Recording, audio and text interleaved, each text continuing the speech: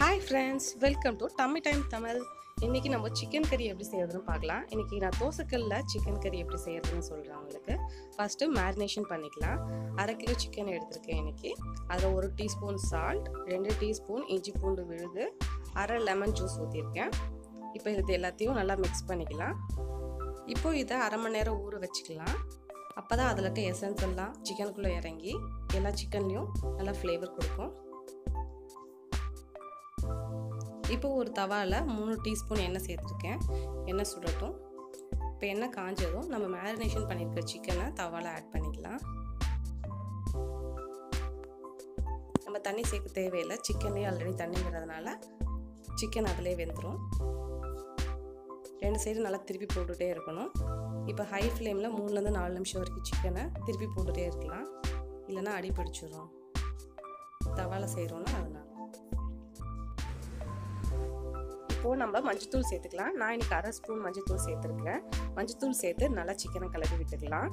ஒரு மீடியம் ஹீட்டில் ரெண்டுலேருந்து மூணு நிமிஷம் வரைக்கும் சிக்கன் கிளறி விட்டுட்டே இருக்கணும். நெக்ஸ்ட்டு அதுக்கு தேவையான அளவு தண்ணி விட்டுக்கலாம். லைட்டாக தண்ணி ஊற்றினா போதும். சிக்கனில் ஆல்ரெடி தண்ணி விடுறதுனால ரொம்ப தண்ணி ஊற்றணுங்கிற அவசியம் கிடையாது. இப்போது ஒரு ஸ்பூன் மிளகாய்த்தூள் ஒரு ஸ்பூன் மல்லித்தூள் ஒரு ஸ்பூன் ஜீரகத்தூள் நெக்ஸ்ட்டு ஒரு ஸ்பூன் கரம் மசாலா.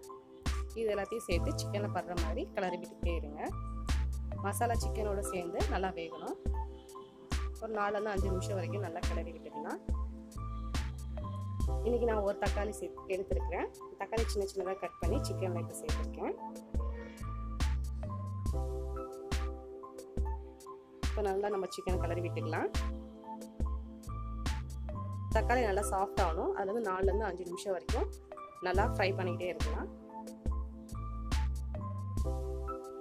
இந்த ஸ்டேஜில் கருவேப்பிலை சேர்த்துக்கலாம். கருவேப்பிலை சேர்த்து மறுபடியும் நல்லா கிளறி விட்டுக்கிட்டே இருக்கணும். இல்லைன்னா அடி பிடிச்சிரும். நம்ம தவால செய்கிறோம் அதனால். இதை நல்லா கிளறி விட்டுக்கிட்டே இருக்கலாம்.